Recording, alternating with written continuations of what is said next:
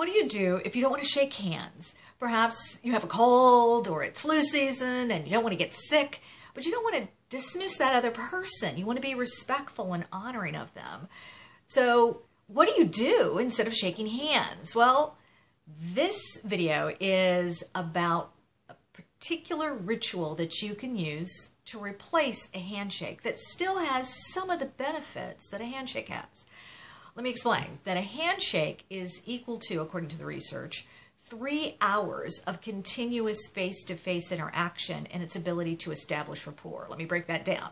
That means when you shake hands with somebody, the, the physical placement in space and specifically the touch in that um, handshake, palm to palm contact, actually has a physiological and psychological effect on you and the other person that bonds you and makes you feel a level of trust and comfort and safety that you don't get when you don't shake hands.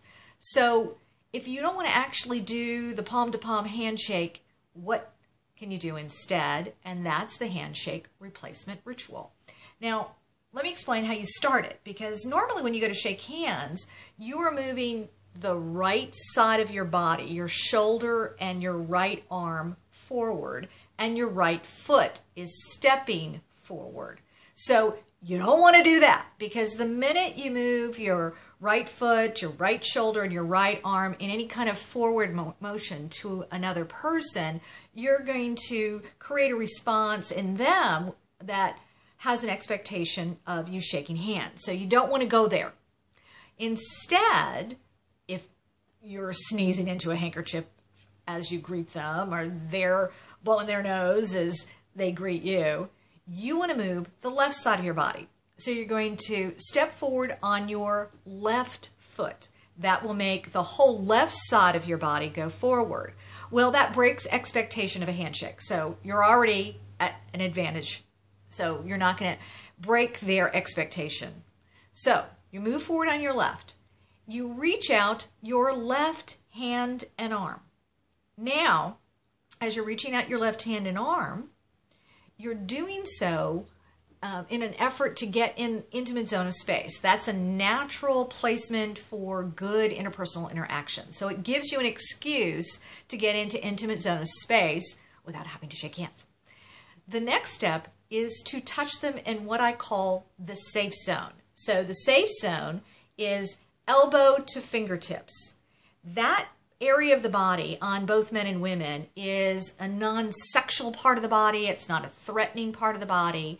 So if you touch in the safe zone very briefly with your left hand, very briefly, let me emphasize, you are still getting some of the benefits of, of touch that you would otherwise get in the handshake. And it's that stimulation of the nerve endings in the skin um, that creates this wonderful cascade of chemicals that give you a lot of the benefits of, of bonding and a feeling of rapport.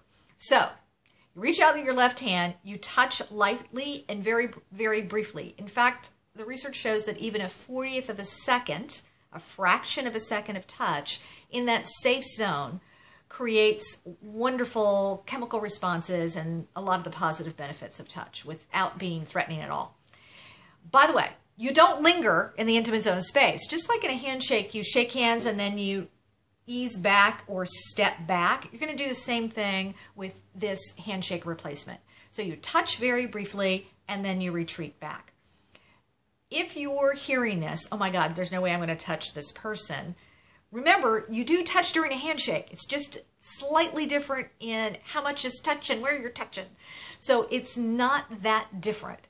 If you still think, Patti, there's no way I'm going to do this touch, I'm going to give you another fallback replacement for the handshake. And that is step forward on your left foot, reach out your hand, but you're going to symbolically touch. You're not going to actually put your hand all the way onto the skin and make contact. You're just going to reach out as if you are going to touch. And as you do that, you do your normal greeting. Hello, how are you?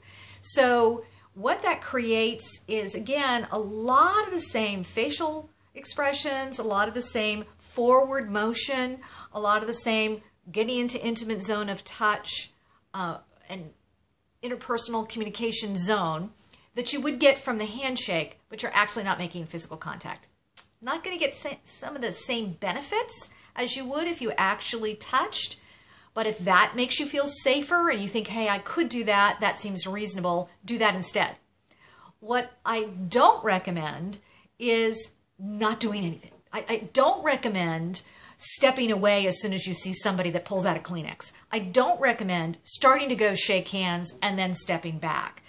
Uh, you're losing out on so many of the very primal necessary behaviors that make you appear safe to another person and allow them to feel comfortable and safe in your presence. And if you don't have a normal, close social interaction at the beginning of any meeting, even with people you know, it takes so much longer to feel comfortable. So you end up wasting an enormous amount of time. Think about that. Think about what a waste of time it is if you don't actually spend that little moment, that little bit of effort greeting in a warm way. So now you've learned a handshake replacement ritual. I'd like you to go out into the world and try it and let me know how it goes.